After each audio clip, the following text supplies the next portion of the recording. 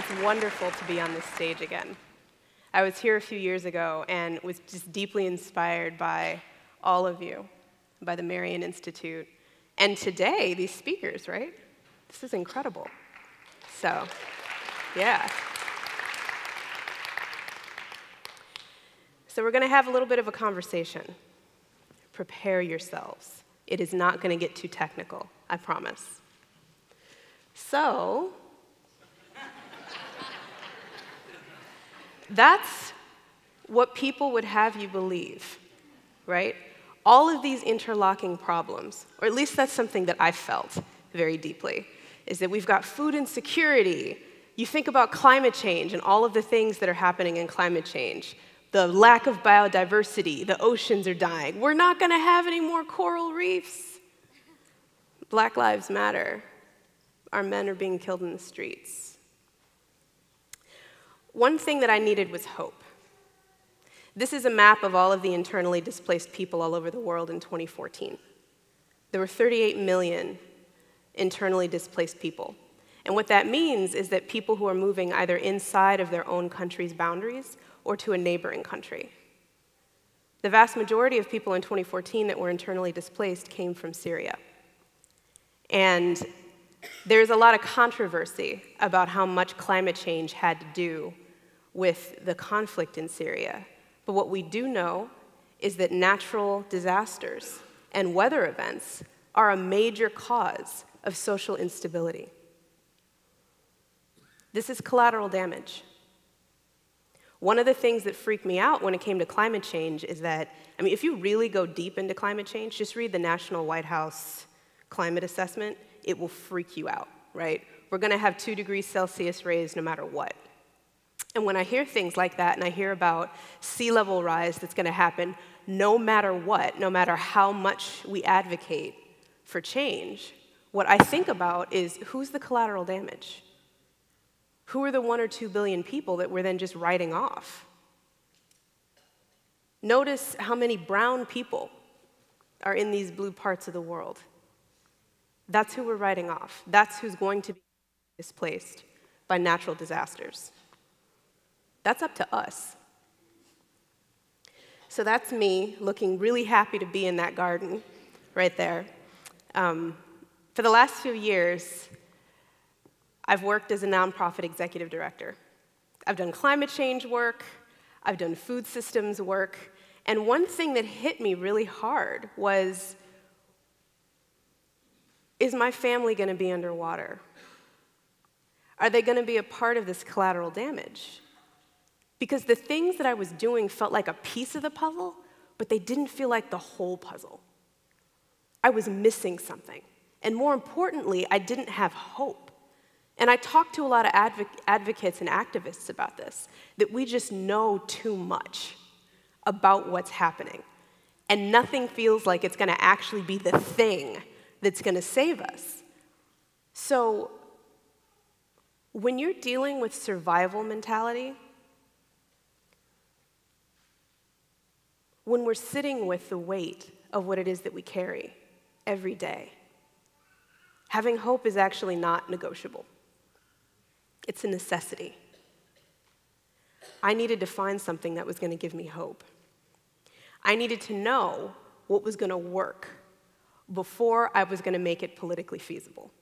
We need to know that. I needed to know what to advocate for. Right? We want real solutions. So I was looking for real solutions. And that's how I stumbled on carbon sequestration through soil. Now, picture this someone invites me to a workshop about carbon sequestration through soil, and I said, What? What, what did you just say? This was in January. I'm sitting in this workshop, and one of the first things they said is, How many of you don't have any hope when it comes to climate change. So I was sitting there.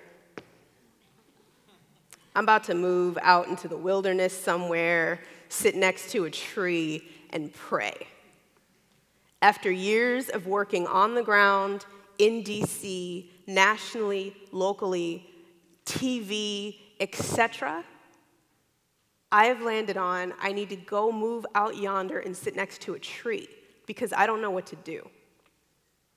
The next thing they said at this workshop was that, okay, here's a scary climate statistic 32 billion tons of carbon dioxide are emitted into the atmosphere by fossil fuels annually, globally. Right?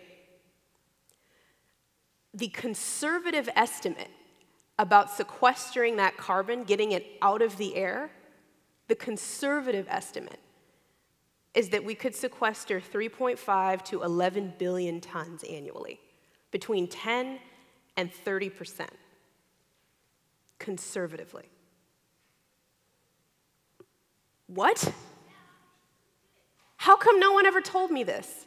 How come no one that I've spoken to in DC is talking about this? And that led me down a rabbit hole, let me tell you. One thing that's an issue is the way that we talk about this stuff. I've gotten really into masculine and feminine dynamics lately. And as a lot of us know, feminine is circular, masculine is linear.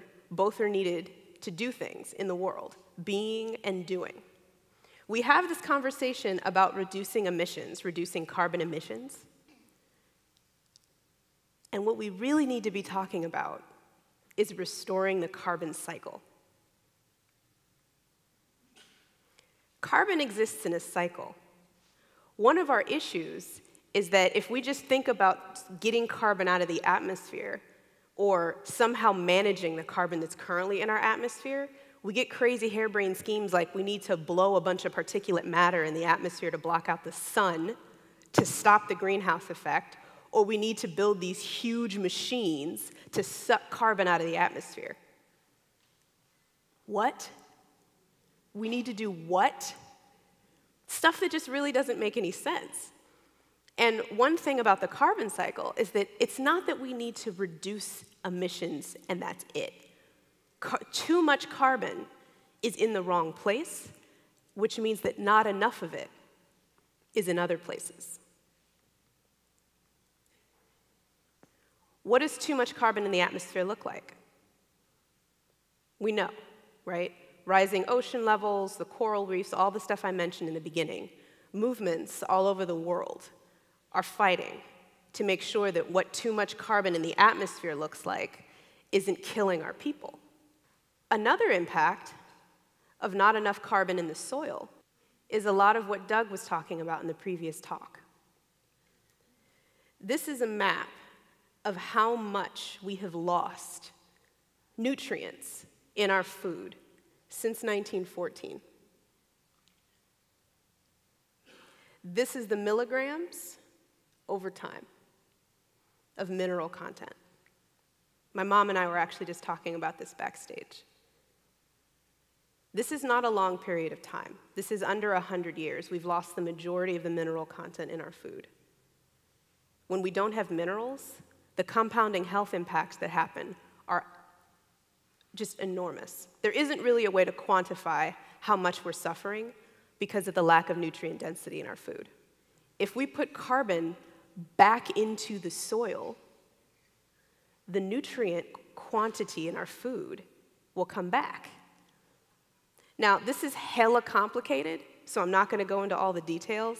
But one of the beautiful things that comes up when you actually start to study soil is that there are all these microorganisms happening, growing, feeding, feasting. And when there's carbon in the soil, there's this deal that gets exchanged where you know they kind of lock hands and it's like, yo, you give me some sugar, I'm gonna give you some nutrients, you know what I'm saying? That's what's going on underneath the soil. But if there's no carbon content, then the micronutrients are like, well, you know what, I'm gonna go get my goods elsewhere because you ain't doing nothing for me. Or they just die. That's the other thing, which is really not fun and really scary. Because when micronutrients die, when microorganisms are no longer in the soil, we get erosion. We get a loss of topsoil. The conservative estimate about how much topsoil we have left is 70 years. The scary estimate is 40 years of topsoil left. because we have been degrading and degrading and degrading and degrading and not building soil. That's what happens. That's what California looks like right now. Another impact of not having enough carbon in the soil is that we get drought because carbon supports water storage and capture. And when you have an incredible drought like we have, you have the wildfires that we just had this season. You have unincorporated towns in the state of California with 1,200 people who are mostly farm workers who have literally run out of water. And they can't afford to have water brought in.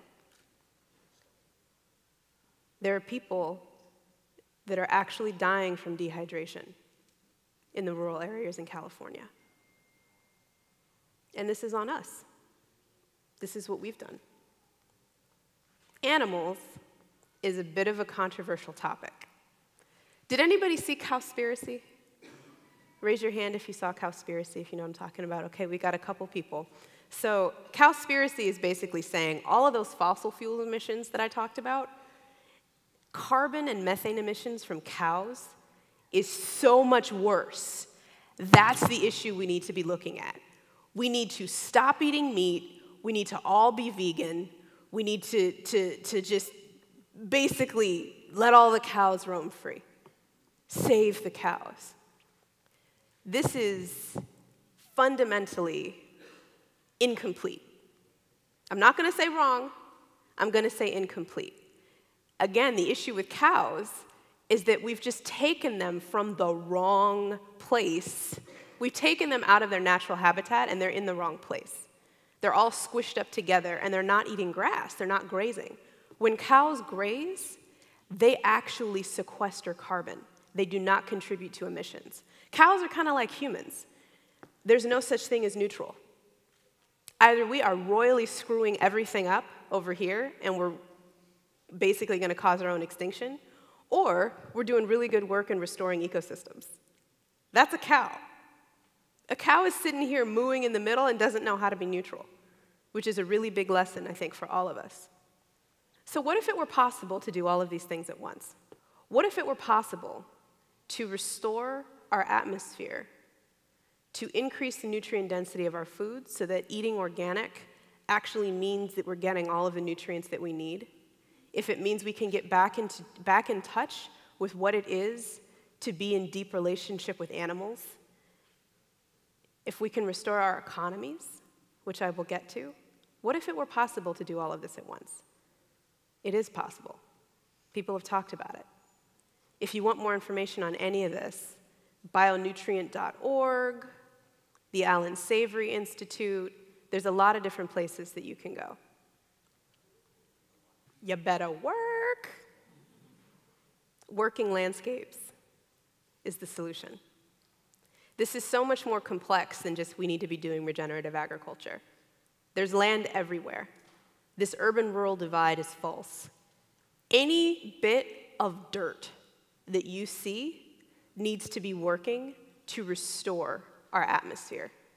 We need to be working with it to restore it and make sure that it's healthy. That's the message here. There is a huge strategy that needs to be done to make sure that everything's happening at the same time.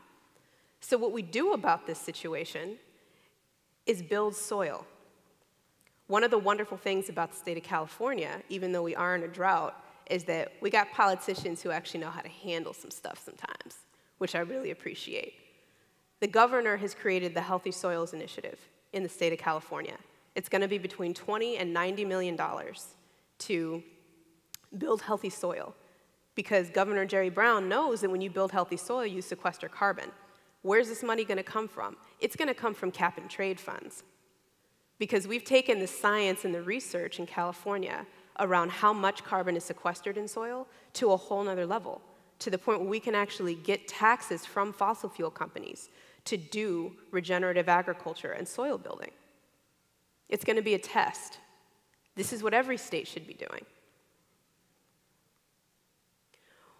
Where do I fit into all of this? Where's, where's my dog in this fight? As I talked about in the beginning, I've been doing food systems and climate work for a really long time. This inspired me. But my dog in this fight is economic development. The vision for me here is that there's a way to connect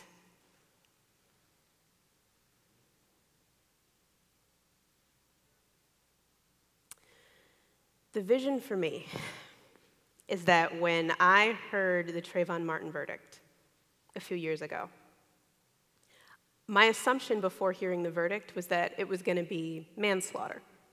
You know, not, not good, but okay, I can deal with manslaughter if it's not first degree murder. And then to hear not guilty, I collapsed a little bit. I, I physically went into the bathroom, locked the door, and laid on the ground sobbing, like hacking sobs, racking my body. Because I didn't know how to have a son in a world like this. That's really why I do this work.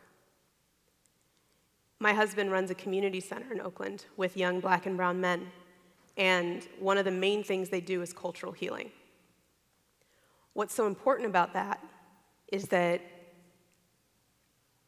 the, the weight, the burden of not knowing if you're going to be able to raise your children safely, of not knowing if you're going to be able to provide for them, of not knowing if your brother or your husband or your father is going to be killed by disease, the cops, any of the things that hit people in poverty. There's a weight. It actually curves your back, it erodes your internal systems. This has been documented. It's social determinants of health. Me, as an African American woman with a master's degree, has a higher infant mortality rate than a white woman with a high school diploma because of the accumulated stress of just what it is to be black in America. The vision for me when it comes to restoring working landscapes is what happens to my body when I go to some of the ranches that I work with and I sit with sheep. The first time I did that, half an hour went by and I didn't even blink. My body relaxed. I was at peace. There weren't horrifying images going through my head about my ancestors working land in terrible ways because it wasn't direct agriculture. There is a way to do direct agriculture that is healing. But what I'm talking about is a soft reentry to being with land and being with animals. And for people of color and low income people to be able to get jobs, to be able to do dignified work, to rebuild, takes a green job to a whole nother level because it's not just doing energy efficiency work that heals our atmosphere. It's working with land in a way that heals our spirits and our souls. That's the work that I want to do.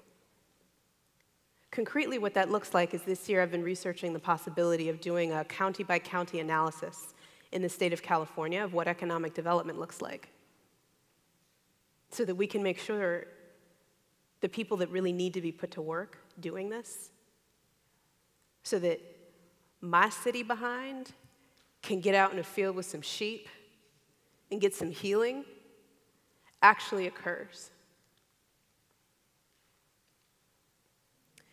What can you do? Shopping, big thing.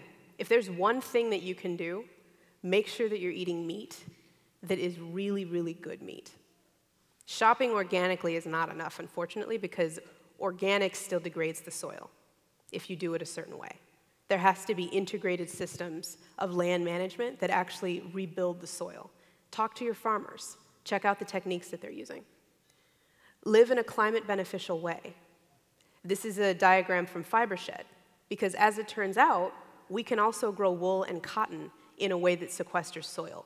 Anything that happens that requires land can be done in a way that sequesters carbon and regenerates the atmosphere. The padding in your mattresses, absolutely everything. Look at that. Think about a climate beneficial lifestyle. Finally, get out in the streets.